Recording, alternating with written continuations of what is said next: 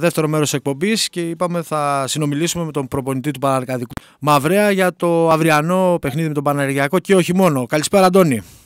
Καλησπέρα, καλησπέρα. Και ευχαριστούμε που έτσι, γιατί ξέρουμε ότι έχεις πολλές υποχρεώσεις, βρήκες τον χρόνο να μιλήσουμε Λέω λίγο. ότι είμαστε στο δρόμο και χίλια συγγνώμη υπηρεσία αυτό και τρέχουμε πανικό. Λοιπόν, πέντε λεπτάκια. Ένα παιχνίδι αύριο. Συνήθως το άγχος το έχει ο πρωτοπόρος ή αυτός που θέλει να βρεθεί στην κορυφή της βαθμολογίας.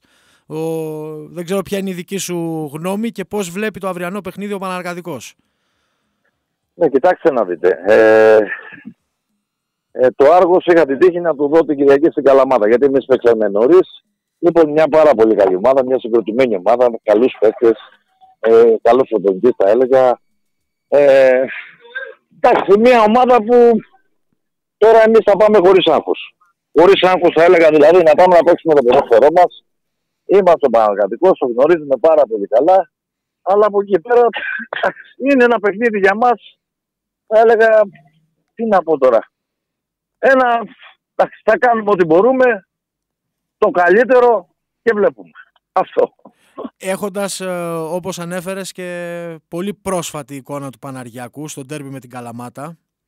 Ε, νομίζω, δεν ξέρω αν ήταν η απόδοση της Καλαμάτας ή βρέθηκε σε κακή μέρο ο Παναργιακός, ότι δεν έδειξε στο συγκεκριμένο παιχνίδι, πάντα μιλάω, τις πραγματικές του δυνατότητες. Όχι, όχι, όχι. Εγώ δεν, είναι, δεν είναι αλήθεια αυτό. Ο Παναργιακός έδειξε πολύ καλές, ε, άφησε πολύ καλές εντυπώσεις. Έμεινε με 10 παίχτες. Έδειξε πραγματικά μια πάρα πολύ καλή ομάδα. Η αντίδραση ε, έδειξε ότι πραγματικά αξίζει τον κόπο να κυνηγήσει. Δεν είναι κάτι... Ε, εμένα μου άρεσε πάρα πολύ ο Παναργιακός. Εντάξει, τώρα δεν βλέπουμε όλοι, συγγνώμη, Παναργιακός. Δεν βλέπουμε όλοι τα ίδια, αλλά εμένα μου άρεσε μα πάρα πάρα πολύ ο Παναργιακός. Ε, όσον αφορά το αγωνιστικό κομμάτι του Παναργαδικού, πλην των γνωστών. Κοιτάξτε να δείτε. Ακούστε λίγο γιατί εντάξει, εμείς τα γνωρίζετε τα προβλήματά μας. Προβλήματα τι εννοώ. Προσπαθούμε σιγά σιγά να φέρουμε κάποια πράγματα στη σειρά τους. Προσπαθούμε σιγά σιγά να βελτιώσουμε κάποια πράγματα. Αργήσαμε να ξεκινήσουμε. Ε, έχουμε κάποια θεματάκια μικροτραυματισμών. Ε, κοίταξε να σου πω κάτι, γιατί μην παρεξηγηθώ κιόλας. Θα κάνουμε ό,τι είναι δυνατόν, θα διεκδικήσουμε κάτι από το μάτι μην ακουστεί για ότι ξέρεις εμείς. Ε, ξέρουμε όμως ότι είναι ένα πάρα πολύ δύσκολο μάτι. Απλά είναι τα πράγματα και ρεαλιστικά και η αλήθεια είναι αυτή. Λοιπόν, από εκεί και πέρα δεν θα σκόσουμε τα χέρια ούτε τα πόδια ψηλά. Εμείς θα διεκδικήσουμε, θα προσπαθήσουμε να παίξουμε την μπάλα μας. Αυτό πρέπει να κάνουμε. Είναι υποχρέωσή μας και τίποτα άλλο παραπέρα. Αν πάρουμε κάτι, το πήραμε. Δεν το πάρουμε, παρακάτω και παιχνίδι με παιχνίδι. Λοιπόν, ένα παιχνίδι δηλαδή που θα, το, θα ψάξουμε να βρούμε κάτι. Από εκεί και πέρα γνωρίζουμε πολύ καλά ότι είναι πάρα πολύ δύσκολα τα πράγματα. Μια καλή ομάδα, μια ομάδα με καλό μπάτζετ κτλ. κτλ, κτλ.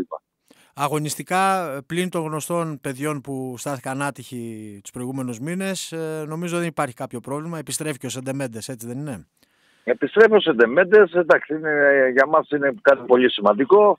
Ε, έχουμε ένα πρόβλημα με τον ε, ξένο που πήραμε πρόσφατα στο δεκάλεπτο είχαμε ένα μικρό τραυματισμό. Δεν θα είναι ναι, ο Καμπιάγκα, δεν θα είναι στην αποστολή. Ε, εντάξει.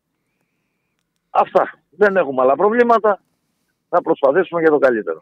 Να ευχηθούμε καλή επιτυχία στο αυριανό παιχνίδι. Ευχαριστούμε πολύ τον. Σε ευχαριστώ πάρα πολύ. Σε ευχαριστώ πάρα πολύ και να ξέρεις ότι στο Παναρκαδικό έχει ξεκινήσει γιατί μας ακούει ο κόσμος και μου δίνεται τώρα το δικαίωμα έχει ξεκινήσει να ξέρετε κάτι πολύ όμορφο. Παρόλο, το είπα και πάλι, παρόλο τη φτώχεια, τη φτώχεια εννοώ εντός εισαγωγικών. Ε, να ξέρετε ότι κάνουμε και θα κάνουμε μια πολύ ωραία προσπάθεια και πιστεύω ότι θα έχει αποτέλεσμα.